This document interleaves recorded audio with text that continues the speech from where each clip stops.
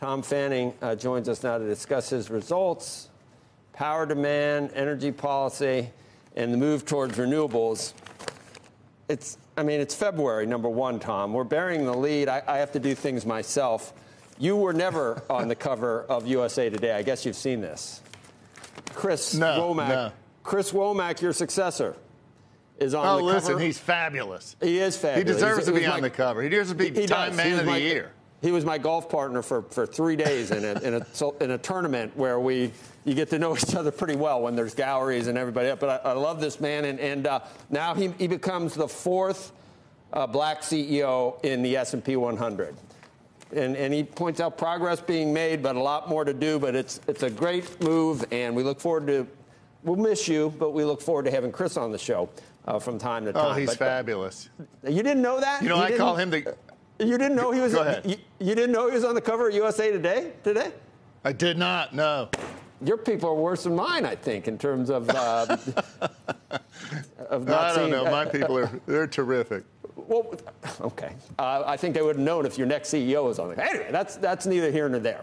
But okay, so Southern Company. What what do the results reflect at this point, uh, Tom? Just a, a rebound, a looming recession, higher interest rates, inflation. What can you tell us from your results in the last three months that shed light, and as your you know your former role at the Atlanta Fed and everything else? Yeah, and I think it's really interesting stuff. Look, our total sales for 22 nearly doubled uh, what we thought they would be. And I think part of this reflects the new work environment, uh, but it, residential way up, commercial way up, industrial down a bit. If you exclude a plant closure, a chloralkali plant, uh, look, they were about flat. The more interesting data, I think, goes not to year over year results, but to what we call momentum, essentially the first derivative of that growth rate. Uh, almost all, I think all of the top 10 industrial segments show negative momentum. So even if you had growth, the growth was slower. That does suggest what we're seeing is a little bit of a slowing in the economy. But let me give you the glass half full. That is, when you look at our economic development data, it continues to be really strong. Job growth, uh, 130% year over year. Um, capital investment, 250%. So here's what I think is happening here. I think we are going into what could be the proverbial soft landing. I think the Fed, you know, as, as much as people love to sit on the sidelines and, and opine, the, the Greek chorus of America, look, I think we're going to see a bit of a slowdown, but I don't think here in the Southeast anyway, we're going to see a recession. I just think it's going to slow a little bit and then come out fine. All the long term data suggests that. Go to the long term demographic data. We continue to see people moving into the Southeast. About a percent moving in every year for the next five years is what we project. Uh, historically low unemployment. Uh, you know, I think EVs has been a big story here.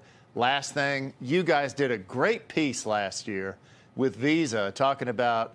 Uh, uh, people moving to Atlanta because of technology, engineering, and innovation hires, particularly in diverse communities.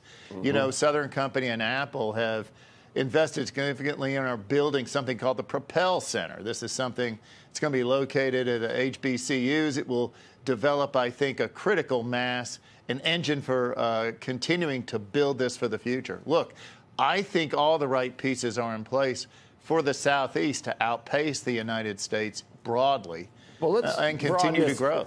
Broaden this out a little, because you, you've been there for a long time. You have steered Southern Company in, into the future, and you're the second biggest utility. You provide power you, to, to, the grid and everything else. You see the ongoing debate about ESG and about reaching zero uh, carbon levels, and, and uh, you know renewables are great, but but they're a ways off, and we need a bridge uh, to the future. So, uh, how have you structured?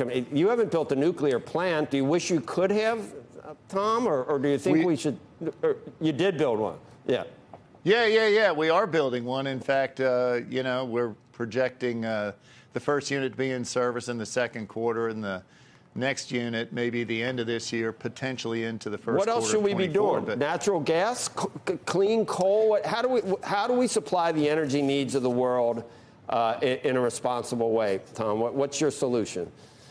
Yeah, man. Look, uh, you know, I'm an old finance guy. I believe every option has value, even if it's out of the money in the future it, it, today. So, look, we need all the arrows in the quiver, all the above. So, uh, natural gas has been a terrific boon for the United States economy. Let's unleash the uh, power of natural gas and get that going. We'll be able to manage the carbon effluence from that in the future through increased technology and all that. We need to continue with nuclear. Um, renewables certainly have their place, but they also have their drawbacks.